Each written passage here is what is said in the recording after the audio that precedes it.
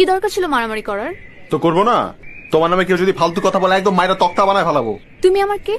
সেটাই আমি তোমার কি। বেশি ব্যথা পাইছো? একটু ছিলে গেছে। তবে ব্যাপার না তোমার নামে যদি ফার্দার কেউ ফালতু কথা বলে একদম।